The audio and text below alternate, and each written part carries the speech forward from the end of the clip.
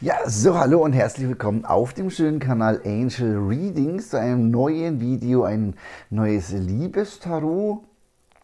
Doch könnte man es so nennen. Es geht um den Menschen, den du eigentlich über alles lieben solltest, nämlich um dich selber. Und deswegen wäre ich froh, wenn du auch heute in diesem Video mal dran bleibst, ähm, nicht abschaltest, weil du sagst, ach, Jetzt geht es ja gar nicht darum, äh, wo mein Wunschpartner ist oder was mein Wunschpartner gerade so tut. Ähm, das nehmen wir bestimmt auch mit rein in der Legung.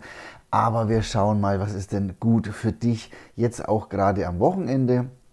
Ist ja die Zeit da, wo man so ein bisschen runterfahren kann, ähm, Pläne machen kann, Erkenntnisse haben kann. Und da ist es eben gut, mal ein paar Impulse und Energien mitzunehmen. Was ist denn da so gut und richtig und wichtig für dich, auch in Bezug auf dein Liebesthema? Na, dann möchte ich jetzt auch nochmal hier in der Mitgliedschaft begrüßen. Die liebe Lydia, die Maike und die Solveig ist am Start. Also da nochmal herzlich willkommen in der Kanalmitgliedschaft.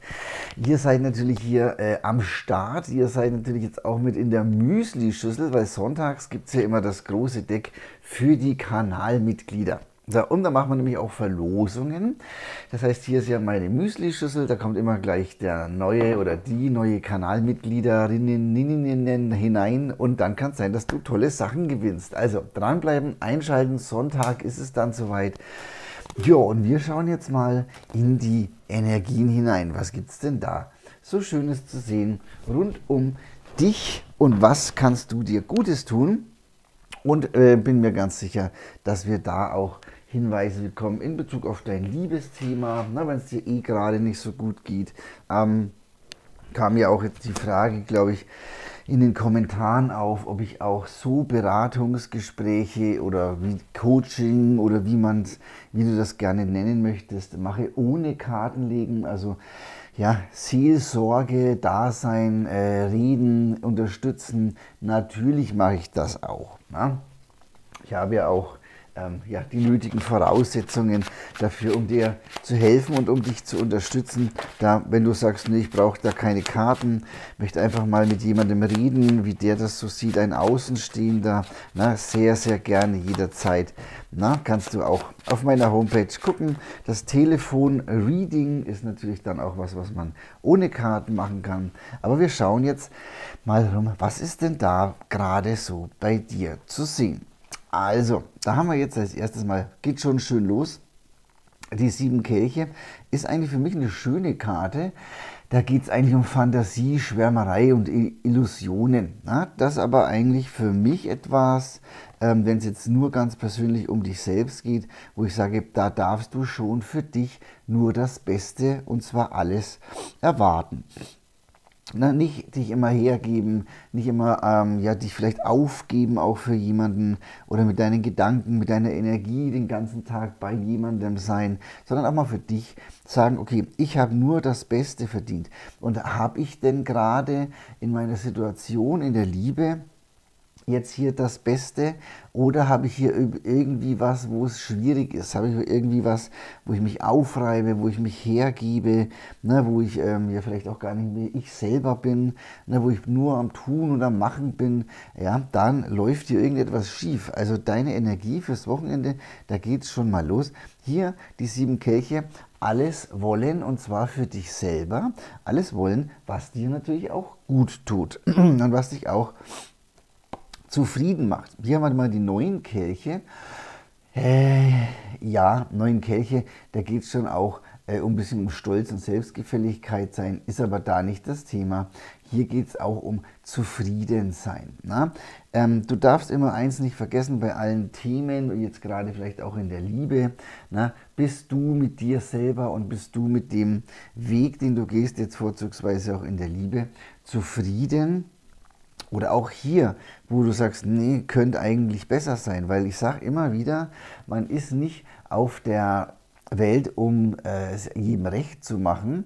Ne? Du bist eigentlich auf der Welt, um es dir leicht zu machen und zu schauen, ist mein Weg, den ich gehe, ein leichter oder äh, verheize ich mich hier gerade irgendwo an irgendeiner Stelle? Dann musst du auch mal was tun. Denn die Königin der Stäbe, das bist natürlich auch du. Ne? Das ist die Karte für Lebensfreude.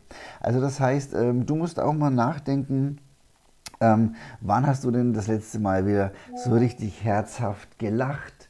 Wann hast du denn das letzte Mal ähm, aus vollem Hals gelacht, bis dir der Bauch wehgetan hat? Hast Spaß gehabt, Freude, warst im Hier und Jetzt unterwegs, warst mit allem rund um dich herum zufrieden? Wenn das schon ein bisschen länger her ist, dann darfst du hier auch jetzt wieder die Verantwortung für dein eigenes Leben übernehmen und sagen, nö, ich habe mich jetzt lang genug angestrengt, getan, gemacht äh, für jemanden um mich herum, äh, für eine Situation mit einem Menschen, äh, in der ich jetzt vielleicht auch schon zu lange drin war. Na, da darf ich auch mal sagen, jetzt ist mal Schluss, jetzt bin ich mal wieder dran, denn die wahre Liebe, ja, die darfst du auch haben für dich selber. Na? Also du darfst auch sagen, na, hier genau, wenn ich es mir mal von oben anschaue, was in meinem Leben gerade ist, na, ist hier gerade irgendwo Unklarheit in meinem Leben. Der Turm, Rückzug, Trennung, Einsamkeit, na, vielleicht auch so ein bisschen mental, wo du sagst, ja, da könnte es mir auch schon besser gehen. Also verschaff dir hier Klarheit, indem du mal auch das ein oder andere Thema um dich herum anschaust.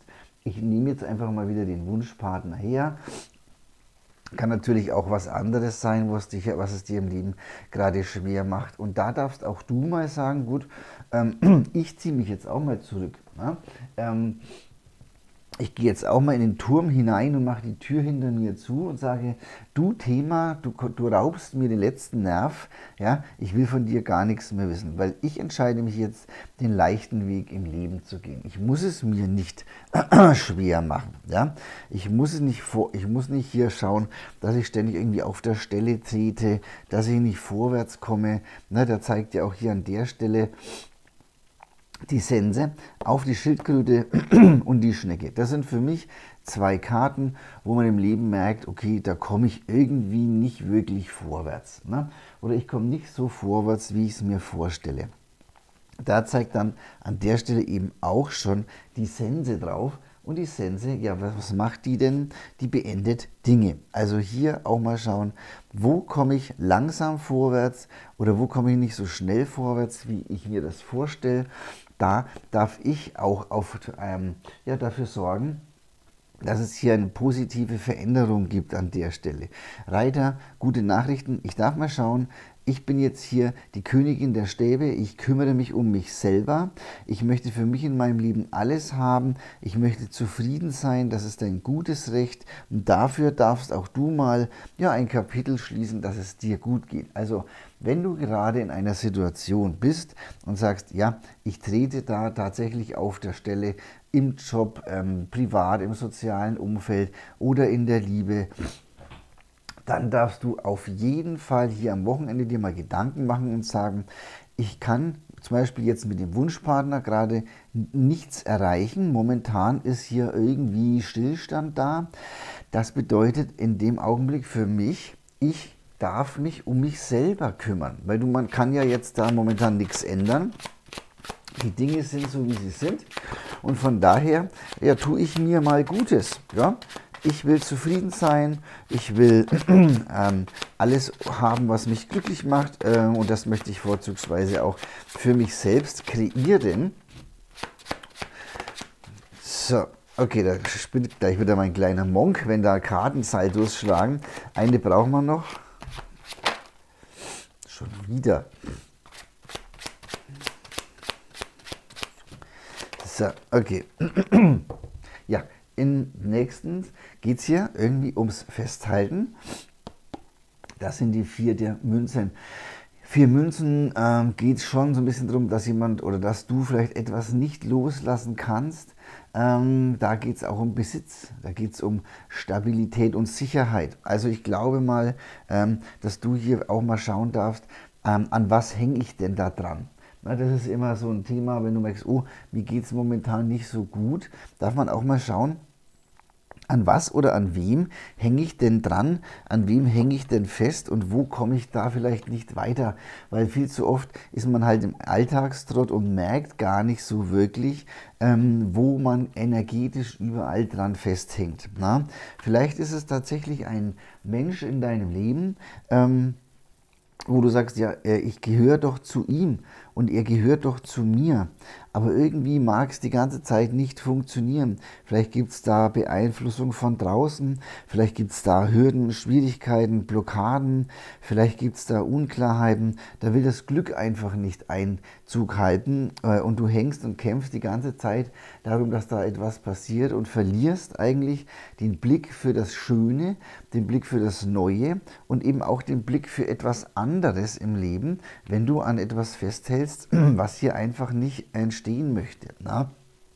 Hier nochmal Ast der Stäbe, ja, da geht es dann auch darum, mal was zu riskieren und die ja, Initiative zu ergreifen. Da geht es auch um die Chance zur Selbstentfaltung. Und ähm, dich selber zu entfalten ist ganz, ganz wichtig und auch festzustellen und zu erkennen, okay, alles klar, ich bin jetzt hier in einer Situation, wo ich mich die ganze Zeit einfach nur im Kreis drehe. Und das selbst zu merken, ist gar nicht mal so einfach, weil je länger und je länger du schon an jemandem festhältst, ja, je länger du da drin steckst in dem Thema, umso weniger merkst du, wie lang du da eigentlich schon dran hängst oder in diesem, an diesem Thema festhängst. Ja, das ist einfach so, man merkt es mit der Zeit einfach selber gar nicht mehr.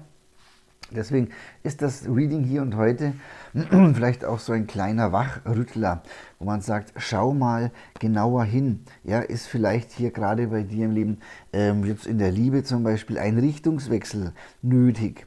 dass du mal einen anderen Weg gehst. Na, weil hier haben wir ja auch noch das Schiff und das geöffnete Buch mal schauen und sagen, okay, äh, da habe ich ja so ein lustiges Bild, wenn es jetzt hier um einen Mann geht, hier, guck mal, tschüss, war kacke mit dir, na, ich bin dann mal weg.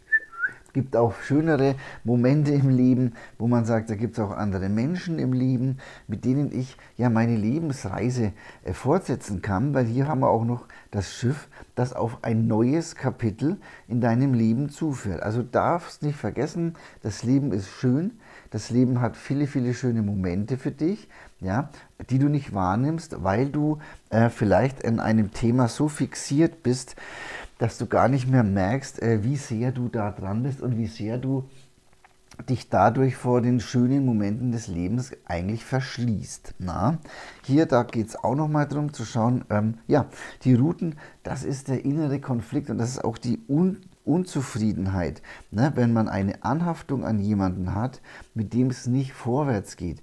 Das ist der Hund. Da geht es hier mit den Ruten darum, dass du zunehmend in die Unzufriedenheit reinkommst. Irgendwann sagst du, ja, ne, kann mich vielleicht langsam selber nicht mehr leiden, will nicht aus dem Haus, ne, habe keine Kraft, habe keine Energie, habe keinen Antrieb. Ja, und diese Erkenntnis, die darf jetzt auch schon mal kommen, wenn du in der Situation bist und sagst, mit meinem Wunschpartner funktioniert einfach vorne und hinten nichts oder nichts so, wie ich es mir vorstelle, dass wir da ähm, ja, in Richtung Partnerschaft gehen, äh, dass du vielleicht auch genauso viel bekommst von ihm, wie du ihm gibst. Ne? Also all die, die, Dinge, die man sich in der Partnerschaft so vorstellt, wenn die faktisch gerade nicht da sind, dann darfst du ihn auch ins Wartezimmer setzen und darfst sagen, okay, wenn du mal mit dir selber klarkommst, was mich angeht, dann darfst du gerne kommen. Wenn ich dann Single bin, ist es gut.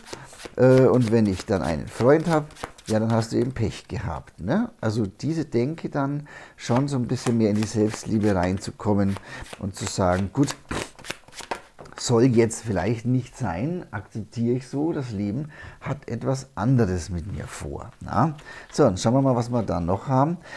Schön vier Stäbe, ähm, das ist ja auch die Glückskarte. Also für dich selber in dein eigenes Glück zu kommen, sage ich ja auch immer gerne mal, ist schon viel, viel mehr wert, als äh, dass du immer schaust, ich bin jetzt nicht glücklich wegen dem, mir geht es jetzt schlecht wegen der, äh, wegen der Situation bin ich jetzt nicht gut drauf. Also im Draußen immer zu schauen, was ist denn da so um mich herum los, äh, deswegen bin ich jetzt gut oder nicht gut drauf, das ist etwas, ein wackeliges kleines Glück. Deswegen das wahre Glück, das erschafft man sich ja selber. Na? Das kommt von innen. Mit dem Ast der Münzen, vielleicht jetzt hier auch noch so eine Karte, wo ich sage, da ist die Chance auf Glück und Liebe da. Ja, da ist auch Wohlstand in Bezug aufs, aufs Glücklichsein, Wohlfühlen, ne, wo ich oben gesagt habe, wann hast du denn da das letzte Mal so richtig herzhaft ähm, gelacht mit den zehn Münzen auch noch eine Karte, wo ich sage, das ist auch die Zufriedenheit. Ja?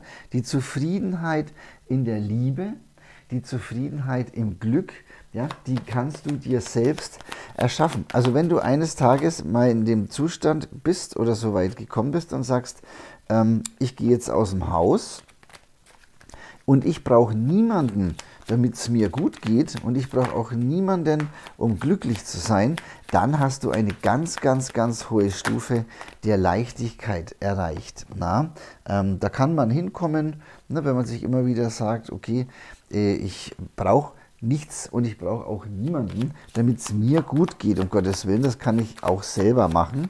Das ähm, ist die höchste Stufe der Leichtigkeit. Da kann man hinkommen, so wie ich, also ich bin auch noch nicht so ganz da, aber na, ich arbeite auch immer ein bisschen an mir, ne, dass man immer sagt, ja, was schaue ich denn eigentlich immer drauf, ob jemand bei mir ist oder nicht, ne? ob ich jetzt happy bin wegen irgendwas oder nicht, dann immer wieder bei sich zu sein. Ich glaube mal, dieses im Kreis drehen bei dir rund um einen Menschen, ähm, mit dem es vielleicht nicht klappen will, das darf jetzt auch mal zu Ende gehen. Du wirst jetzt auch mal sehen mit dem Sarg, da geht auch etwas zu Ende und auch dieses sture an jemanden denken darf mal zu Ende gehen. Du wirst sehen, dass vielleicht auch dein Wunschpartner an der Stelle dann schon sagt, hey, Moment mal, was ist denn mit der los? Na, die ist ja jetzt auf einmal ganz anders drauf. Ähm, die rennt mir ja vielleicht auch gar nicht mehr hinterher.